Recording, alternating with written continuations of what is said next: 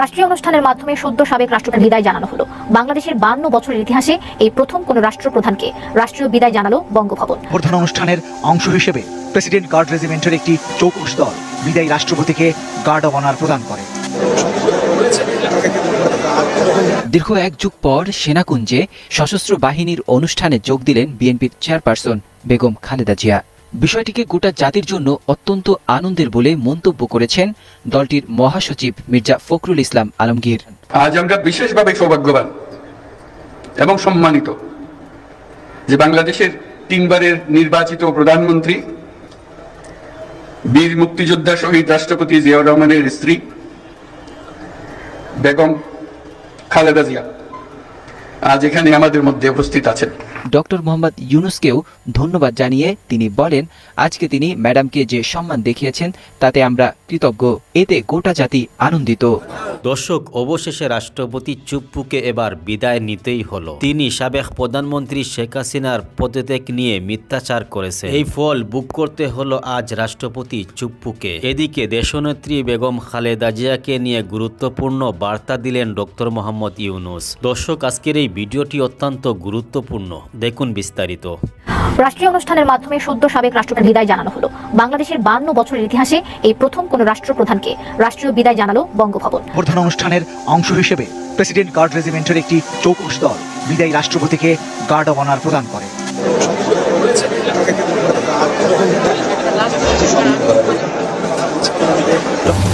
আপনারা যে কজন এখানে এসছেন অনেক কথা।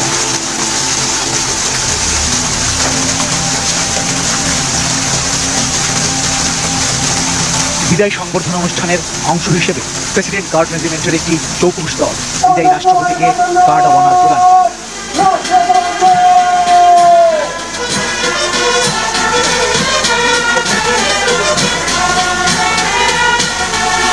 বঙ্গভবনের কর্মকর্তারা গাড়ির দুই পাশে সারিবদ্ধভাবে দাঁড়িয়ে থাকেন।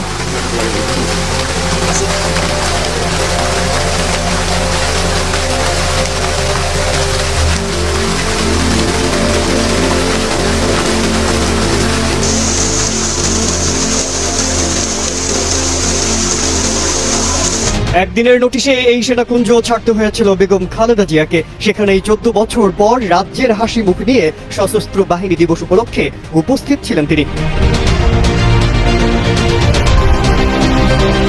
দু হাজার দশ সালের তেরো নভেম্বর খালেদা জিয়াকে পরিবারের দীর্ঘ চল্লিশ বছরের স্মৃতি বিজড়িত ঢাকা সেনানিবাসের শহীদ মইনুল রোডের বাড়ি থেকে এক প্রকার জবরদস্তি করে বের করে দেওয়া হয়েছিল।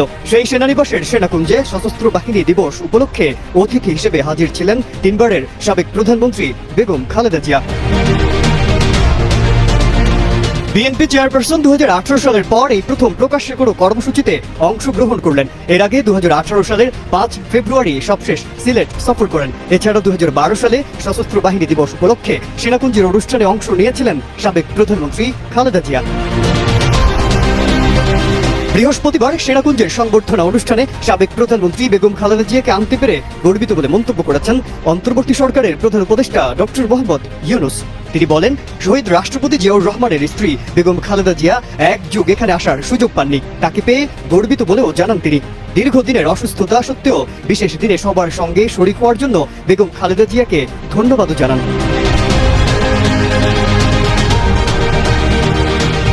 প্রত্যক্ষদর্শী সূত্র জানিয়েছে, খালেদা জিয়া সেনাকুঞ্জে পৌঁছালে সেনাপ্রধান জেনারেল ওয়াকরুজ্জামান, নৌবাহিনীর প্রধান অ্যাডমিরাল মোহাম্মদ নাজমুল হাসান এবং বিমান বাহিনীর প্রধান air chief marshal Hasan Mahmud Khan তাকে অভ্যর্থনা জানান। এর আগে খালেদা জিয়া গুলশানের বাসভবন ফিরোজা থেকে সেনাকুঞ্জের সংবর্ধনা অনুষ্ঠানের উদ্দেশ্যে রওনা হন। এ সময় ছোট ছেলে প্রয়াত আরাফাত রহমান, কোকর স্ত্রী শর্মিলা রহমান তার সঙ্গে ছিলেন।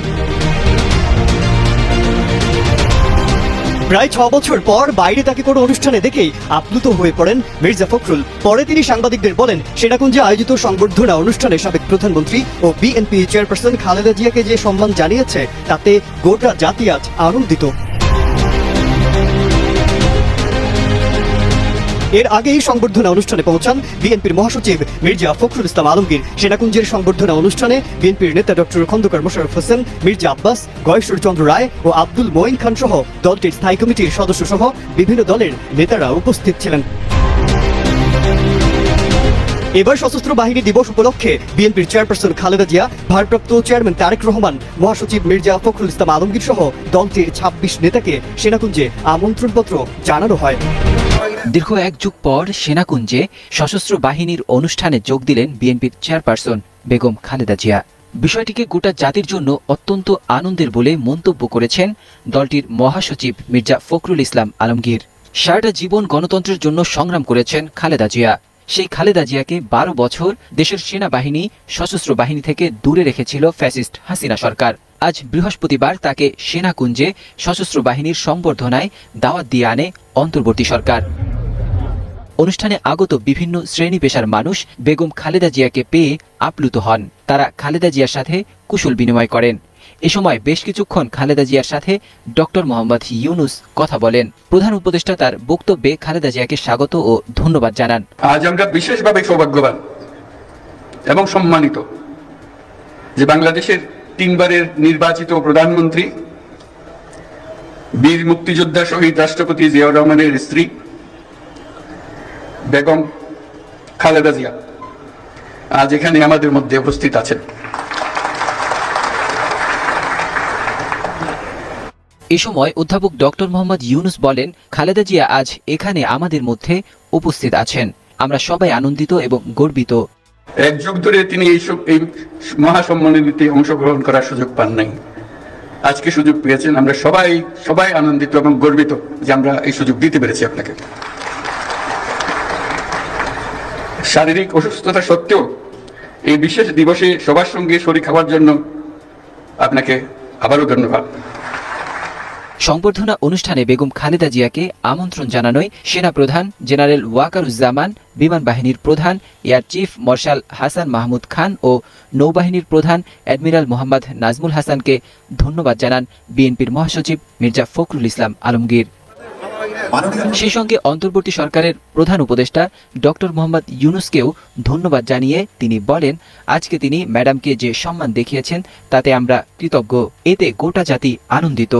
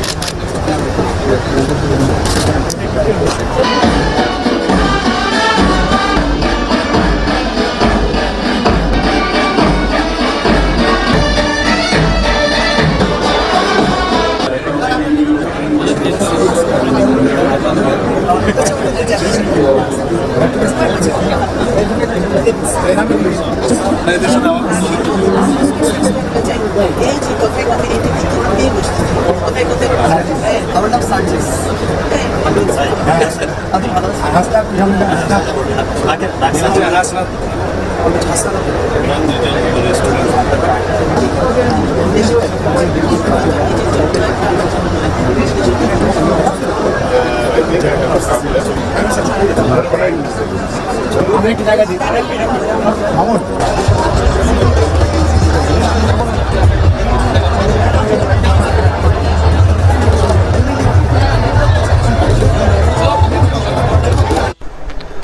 সশস্ত্র বাহিনীর এই শুভক্ষণে আমি সবাইকে জানাচ্ছি আমার প্রাণঢালা শুভেচ্ছা ও অভিনন্দন।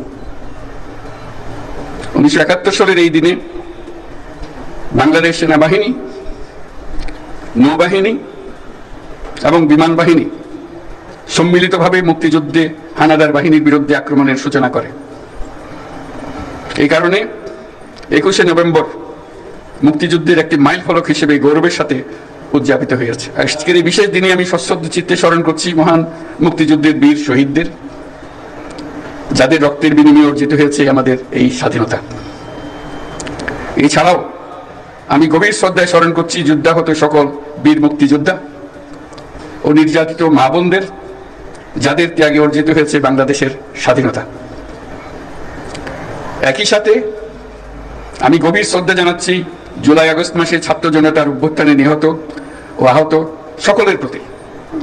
যাদের দুঃসাহসিক আত্মত্যাগ ও সাহস দেশ পুনর্গঠনের জন্য একটা নতুন সুযোগ সৃষ্টি করেছে, তাদের এই আত্মত্যাগ জাতি চিরদিন শ্রদ্ধা ভরে স্মরণ করবে।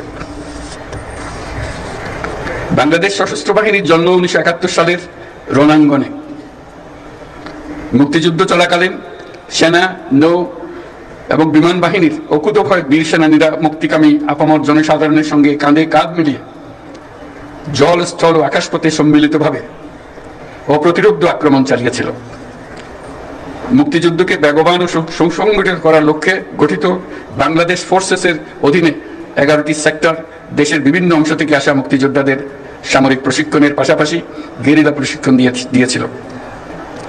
একাত্তর সালের একুশে নভেম্বর আমাদের সশস্ত্র বাহিনী যে যৌথ অভিযান শুরু করেছিল, ষোলোই ডিসেম্বর তা চূড়ান্ত বিজয়ে পরিণত হয়। একাত্তরের মুক্তিযুদ্ধে আমাদের সশস্ত্র বাহিনীর এই অবদান বাংলাদেশের ইতিহাসে স্বর্ণাক্ষরে লিখিত থাকবে। সম্মানিত অতিথিবৃন্দ, স্বাধীনতার সূচনা লগ্ন থেকেই দেশের স্বাধীনতা ও সার্বভৌমত্ব রক্ষা এবং নিরাপত্তা নিশ্চিত করার পাশাপাশি দেশ গঠন ও জাতীয় দুর্যোগ মোকাবেলায় সশস্ত্র বাহিনী সবসময় জনগণের পাশে থেকে কাজ করে আসছে। সাম্প্রতিক বৈষম্য বিরোধী ছাত্র আন্দোলনে এবং তৎপরবর্তী পরবর্তী সময়ে দেশের ক্রান্তি লগ্নে সশস্ত্র বাহিনী বরাবরের ন্যায় মানুষের পাশে এসে দাঁড়িয়েছে। দেশের ছাত্র, জনতা ও এবং সাধারণের পক্ষে দাঁড়িয়ে সশস্ত্র বাহিনী আবারও দেশের মানুষের কাছে আস্থার প্রতীক হিসেবে স্বীকৃতি লাভ করেছে। তৎপরবর্তী সময়ে গত কয়েক মাসে প্রাকৃতিক দুর্যোগ ও আইন শৃঙ্খলা রক্ষায় সশস্ত্র বাহিনী অত্যন্ত গুরুত্বপূর্ণ ও প্রশংসিত, প্রশংসনীয় ভূমিকা রেখে এসছে। এছাড়াও দেশের অবকাঠামো, অর্থনৈতিক অর্থনৈতিক উন্নয়ন, ছিন্নমূল মানুষের জন্য বাসস্থান তৈরি এবং অন্যান্য জনকল্যাণমুখী কাজে প্রতিনিয়ত সশস্ত্র বাহিনী নিবেদিত প্রাণ। আমাদের প্রত্যাশা, গণতান্ত্রিক ও নিয়মতান্ত্রিক নেতৃত্বের প্রতি অনুগত ও শ্রদ্ধাশীল থেকে পেশাগত দক্ষতা ও দেশপ্রেমের সমন্বয়ে সশস্ত্র বাহিনী দেশ সেবায় সবসময় তৎপর থাকবে। আজকের এই দিনেই আমি স্বাধীনতার সূচনা লগ্ন থেকে অদ্যাবধি দেশের নিরাপত্তা, উন্নয়ন ও সন্ত্রাস দমনে নিয়োজিত থাকাকালে সশস্ত্র বাহিনীর শাহাদত বরণকারী সদস্যদের পরিবারের প্রতি গভীর শ্রদ্ধা ও সমবেদনা জানাচ্ছি। প্রিয় সুদীবৃন্দ বাংলাদেশ শান্তিপ্রিয় এক দেশ। প্রতিবেশী সহ সকল রাষ্ট্রের সাথে বন্ধুত্বপূর্ণ ও শ্রদ্ধাশীল সহযোগিতার মাধ্যমে সহস্থানে আমাদের মূল লক্ষ্য।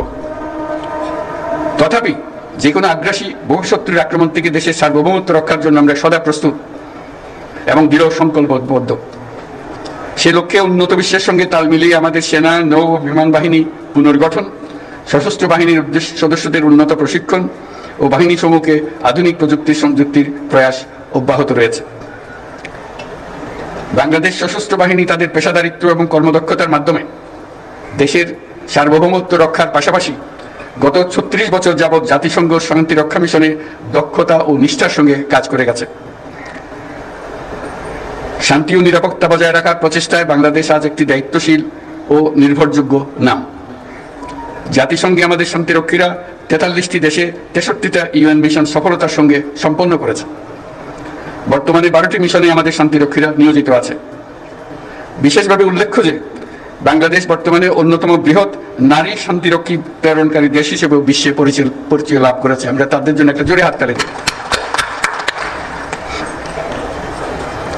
এই জন্য আপনাদের অন্তরের অন্তরের, আমাদের এবং আপনাদের অন্তরের অন্তঃস্থল থেকে ধন্যবাদ জানাই। হেমন্তের এই বিকেলে উৎসবমুখর পরিবেশে আপনাদের সাথে থাকতে পেরে আমি অত্যন্ত আনন্দিত। আপনাদের উপস্থিতি আজকের এই মহতি অনুষ্ঠানকে প্রাণবন্ত মহিমান্বিত করেছে। আপনাদের উপস্থিতি আজকের এই মহতি অনুষ্ঠানকে প্রাণবন্ত করেছে। সশস্ত্র বাহিনীর পক্ষ থেকে আপনাদের সকলকে জানাই আন্তরিক ধন্যবাদ। পরিশেষে, সশস্ত্র বাহিনীর সকল সদস্য এবং তাদের পরিবারবর্গের সুখ, শান্তি ও কল্যাণ কামনা করছি। আপনারা সকলে যেন দেশের উন্নয়ন অগ্রগতি সাধনে সশস্ত্র বাহিনী দিবসের আদর্শ ও অনুপ্রেরণায় উদ্বুদ্ধ হয়ে ঐক্যবদ্ধভাবে কাজ করে যেতে পারেন সেই কামনা করছি। আমি আমার বিদেশি বন্ধুদের উদ্দেশ্যে দুটি কথা বলি my dear friends who are attending this celebration I would like to say few words to you I take the privilege to thank the excellencies and distinguished guests from our friendly countries for joining us to celebrate our Armed Forces Day. On this occasion, we gratefully recall the contribution of the people of our friendly nations during our War of Liberation. I'm also thankful for the excellent training support and assistance provided to our armed forces by your countries. I hope you will continue to provide similar support in future as well. I must mention that it is a unique opportunity and great experience for our troops to work together with the global peacekeepers under the umbrella of the United Nations for the noble cause of world peace and stability. I assure full support to the United Nations in the global peace efforts by our armed forces. I thank you all for your kind presence. Piyush আপনাদের সবাইকে আজকের অনুষ্ঠানে অংশগ্রহণের জন্য আন্তরিক ধন্যবাদ জানাচ্ছি। মহান আল্লাহ আমাদের সহায়ক।